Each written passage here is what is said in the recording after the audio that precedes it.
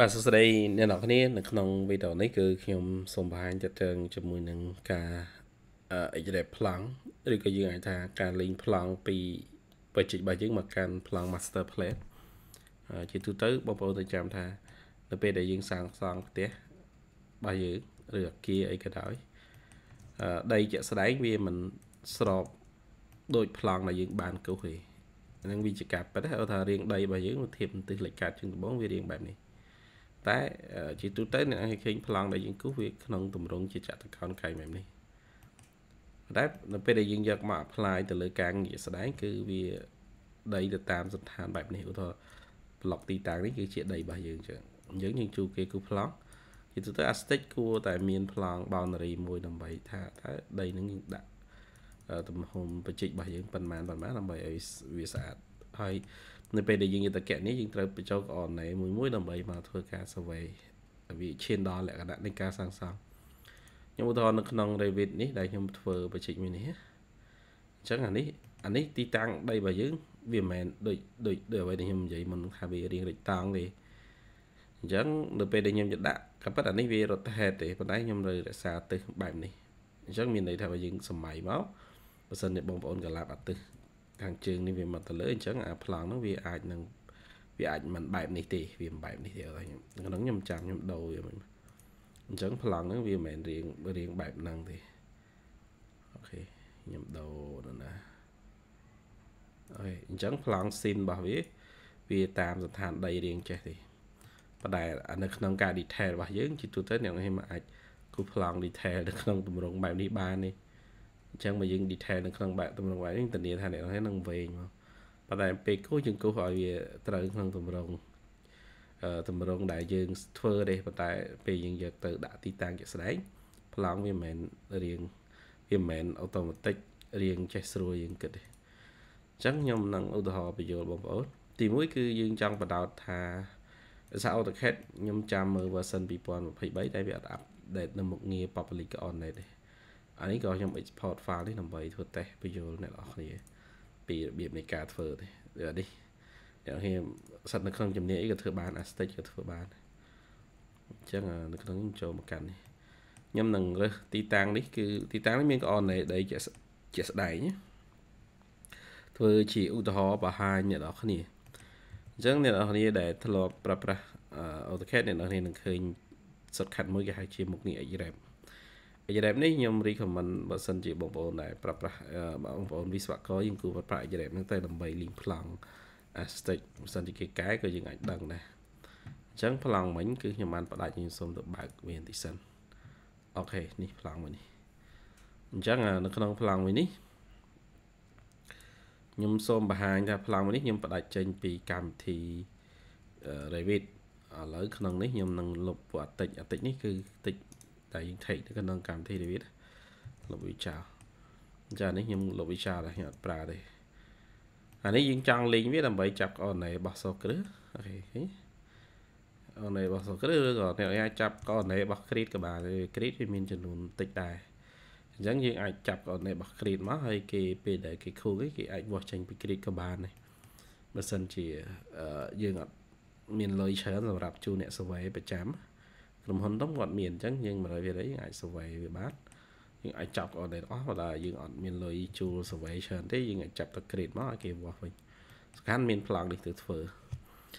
អញ្ចឹងខ្ញុំនឹងបង្ហាញអ្នកនរគ្នាពីការលេងប្លង់នេះជាទូទៅយើងគឺប្លង់ structure គ្រាន់តែដែលយើងអាចចាប់ដូចជាគ្រាន់តែបោះតសបោះសគ្រឹះអញ្ចឹងមកយើងពោះកន្លែងខ្លះបើនៅក្នុងទំហំដីតលាបែបនេះអ្នកងាយមិនដឹងខួងនៅទីតាំងណាមួយទេ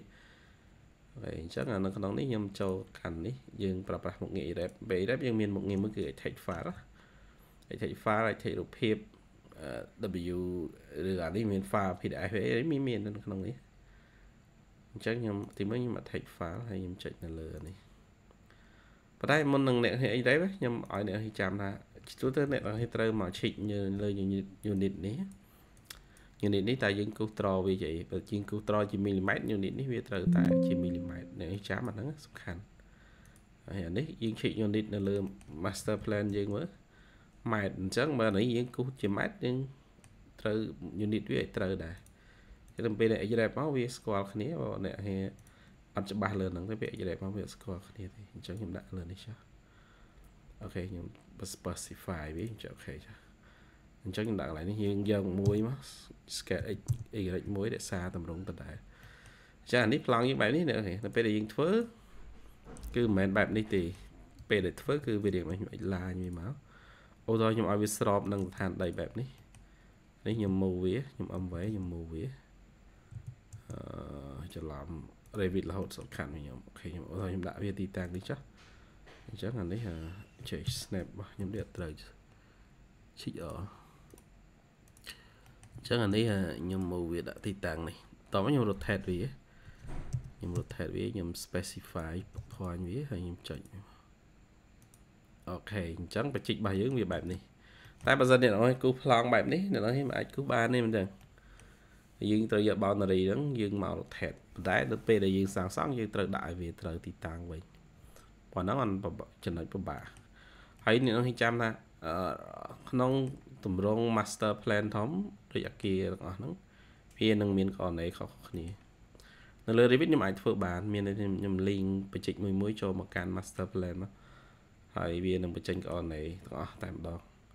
បាទនេះវាជាលក្ខណៈ manual ហើយវារៀងបានតិចហើយនៅក្នុងការប្រើប្រាស់តម្រង់ Express បែបនេះឧទាហរណ៍ថានៅពេលដែលធ្វើការកែក្នុងពួកនេះចឹងឧទាហរណ៍ខ្ញុំ select dimension ចាស់ខ្ញុំ select similar ខ្ញុំកែវាលុបចោលចឹងចាស់ ចឹងឧទាហរណ៍ទៅពេលខ្ញុំ save ទៅក្នុងតម្រង់ Express បែបនេះក៏វាបោះវាក៏វានេះអានេះឧទាហរណ៍យើង save យើងបើកអានេះមកគឺវាបញ្យល់ថាហ្នឹងយើងបាននេះហើយយើងបានកែកដែរនៅពេលយើងចុចលើនេះក៏បានឬក៏អ្នកនេះនៅពេលដែលយើងចុចវាវា review នៅក្នុង AutoCAD version ខ្ពស់វា review ថាយើងបានលុបអីខ្លះអញ្ចឹងអាហ្នឹងខ្ញុំព្យាយាមខ្វាយចោលទៅឬក៏អ្នកនេះមកចូលអាប្លង់នេះយើង right click យើងយកពាក្យអឺពាក្យ reload ពាក្យ unload គឺយើងដកវាចេញហើយអានេះយើងមិនបាច់ដកវាចេញទេអានេះមិនមាន compare ជាមួយនឹងឬក៏ band នេះយើងបដាច់វាប៉ុន្តែហ្នឹងខ្ញុំអត់នេះទេខ្ញុំទុកសិនហើយនៅពេលដែលយើងចាប់ coordinate ឧទាហរណ៍អ្នកចង់ចាប់ coordinate របស់ grid អ្នកនេះអាចប្រើប្រាស់មុខងារ point យើងអាចបង្កើតជា block ព្រោះ block វាមាន point កណ្ដាលអញ្ចឹងនេះឃើញមាន point នេះ ខ្ញុំទៅមើល comment point ទៅណាដើម្បីដូរ point ឲ្យវាធំតិចនេះខ្ញុំខាន់ប្រាយចង់ផ្លេចទីតាំងដូរទំហំ point អូខេ point style នេះចានេះខ្ញុំយកវាថា10ចាអូខេ refresh វាមើលអឺមែនទៅ insert អីមិញ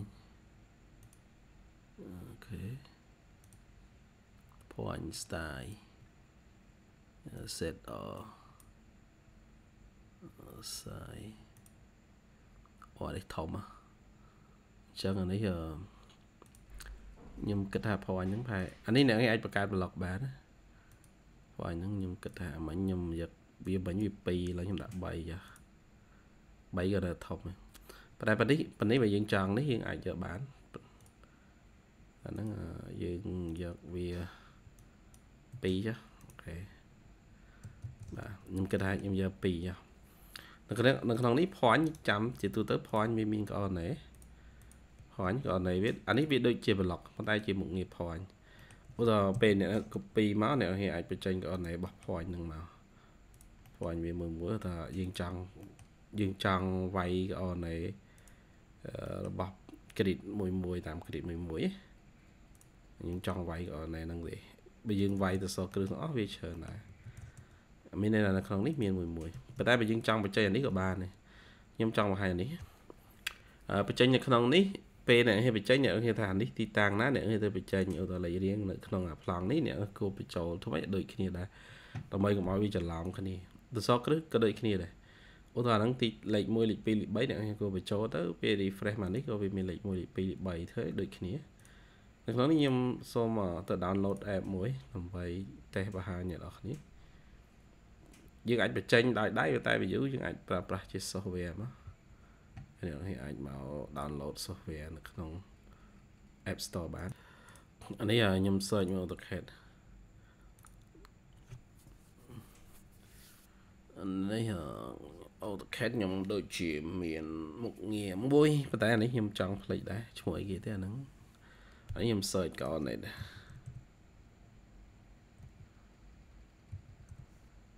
អូខេឡើយ search ក៏អត់ដែរអានេះមាននេះក៏យើងអាចប្រើប្រាស់បានในសាបក៏អត់ដែរចុច point វាមកនេះនេះនេះអាច download វាមកនេះអាចចូលមកកាន់ទីនេះ download ប៉ុន្តែអាហ្នឹងមានមានធូរមួយទៀតប៉ុន្តែខ្ញុំតេស្តតានេះអូខេអូទៅ ដែរព្រោះអាហ្នឹងដូចជាមានពាក្យ increase មួយទៀតនេះហ្នឹងខ្ញុំបាន download ទុកហើយអាចមក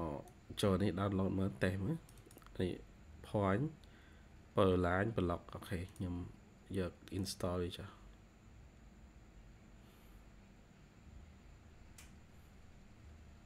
ហើយ install ចប់ចូលមកកាន់ AutoCAD មក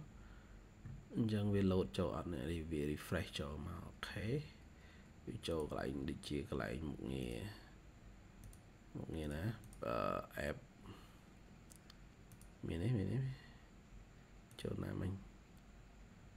OK OK ចូលកន្លែង add in នេះ OK ចូលកន្លែង add in នេះ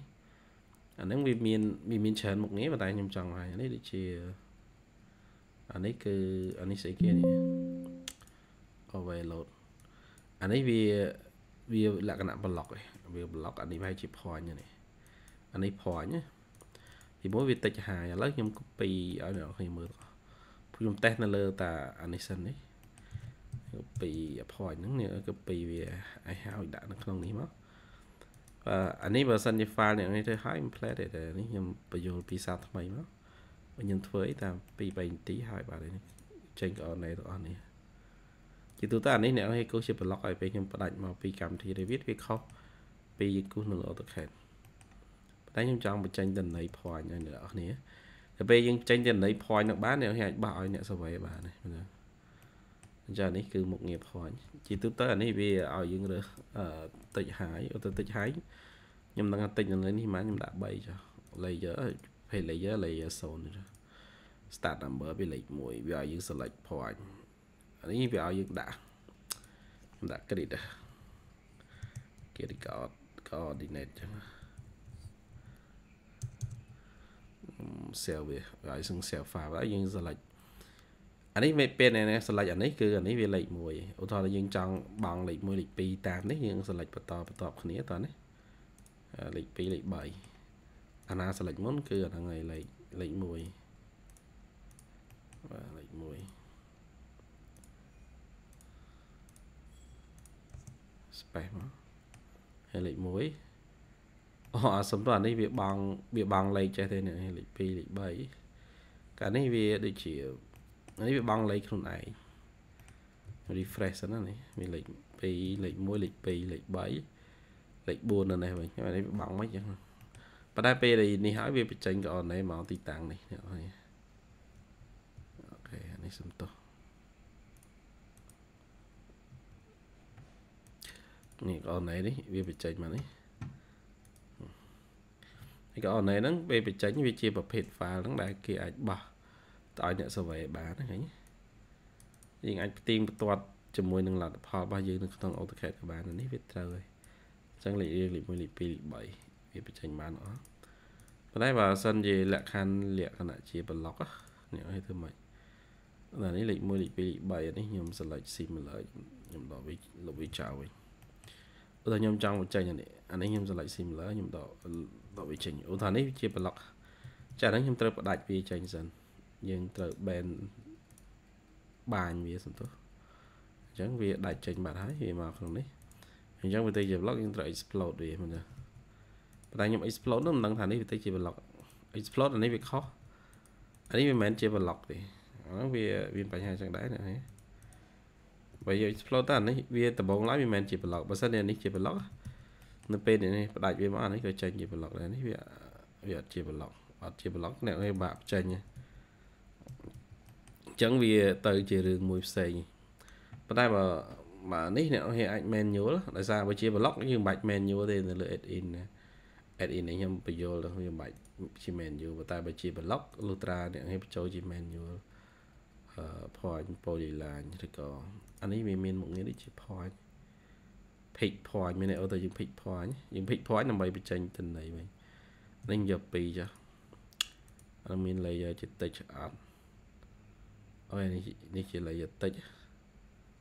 text ចាហើយនេះ start លេខ1នេះអញ្ចឹងអានេះយើងបើយើងអត់មានទេអ្នកគេតអង្គុយ page ដាក់ test ប៉ុន្តែប៉ុណ្នេះខ្ញុំគិតថាដូចវាមិនច្រើននេះវាមាន page មកប៉ុន្នេះអ្នកនេះវាពេល select វាឲ្យ select point នេះ page លេខ2អញ្ចឹងហើយខ្ញុំចង់វាយលេខ3លេខ4អាហ្នឹងវាលក្ខណៈជា menu ប៉ុន្តែខ្ញុំគិតថាវាវាលឿនជាងលឿនជាងអីដែលយើងធ្លាប់ធ្វើដែរប៉ុន្តែវាជា block អ្នកក៏ select block មាន add in វាទៀតប៉ុន្តែខ្ញុំខ្ជិលចំណាយពេលទៅ download ហើយខ្ញុំទៅ remove Revit ចោលអញ្ចឹងវាបាត់ comment វាមាននៅក្នុងនេះអញ្ចឹង space ប៉ុណ្ណឹងឧទាហរណ៍ពយល់អ្នកនរគ្នាហ្នឹងវានឹងចេញមកកន្លែងតេស្តនេះអានេះក៏យើងបោះឲ្យម៉ាស៊ីនខាងម៉ាស៊ីន survey គេមកអញ្ចឹងវាដល់14 point ហ្នឹងមិញអេបាន point នេះ14 point យើងបោះទៅគេ survey បានបាទអរគុណអ្នកនរគ្នានៅក្នុងវីដេអូខ្ញុំសូមបញ្ចប់ប៉ុណ្ណឹងជួបគ្នានៅវីដេអូក្រោយ